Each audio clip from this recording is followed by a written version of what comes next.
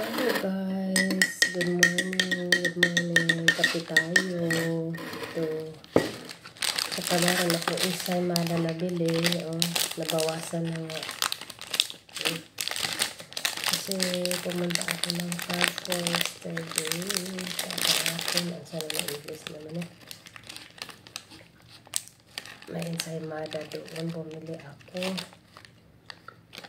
Ano bukas sa kape. Tapos, nagutom ako kagabi, binawasan ko. Kape na ako maaga guys dahil meron akong gagawin sa labas.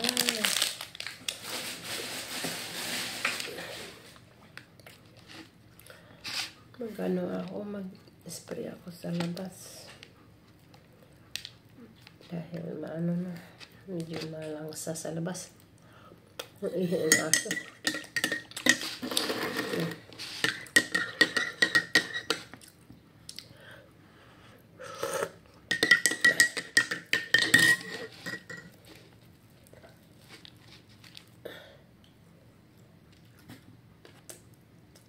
ano to, ensaymada, oh. Na may, ano, OB flavor.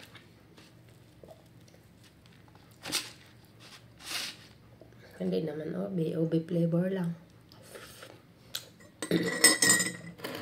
Color OB lang. Ayan, oh.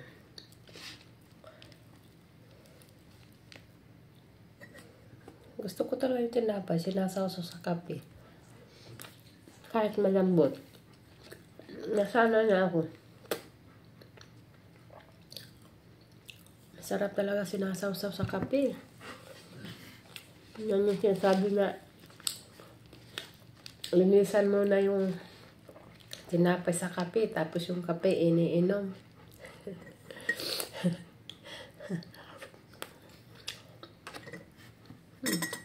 Masarap. Kape sama naman. May ube.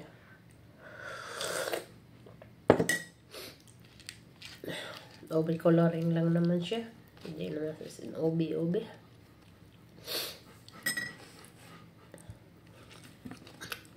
Hali ko pa rin magsasaw na ano. Tinapay. Hmm.